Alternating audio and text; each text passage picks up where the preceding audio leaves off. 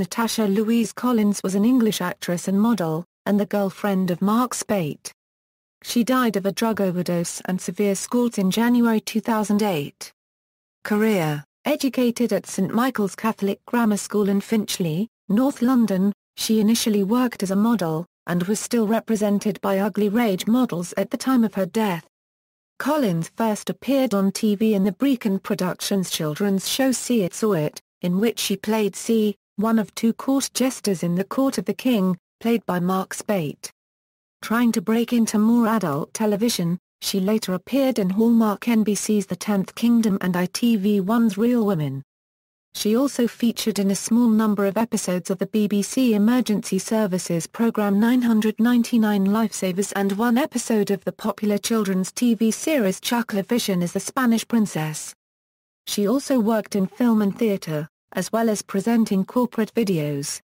In 2001 Collins was cast in a main role in the Channel 4 show Hollyoaks, but later the same day was involved in a serious car accident, which left her in a coma and hospitalized for a long period of time.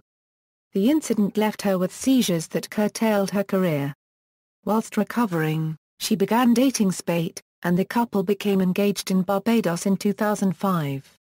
Death At 1.20 p.m. on January 3, 2008, police were called to the northwest London home of Collins and Speight, where Collins was found dead in a bath.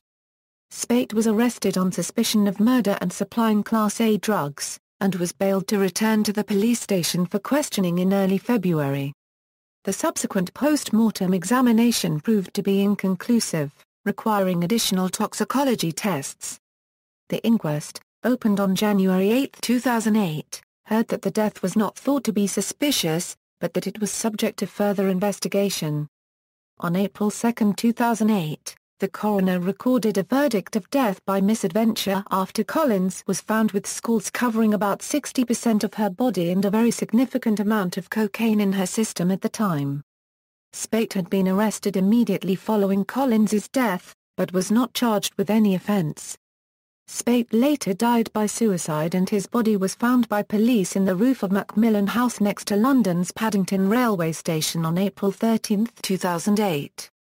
He was said to have killed himself because he could not cope with the grief of Collins's death.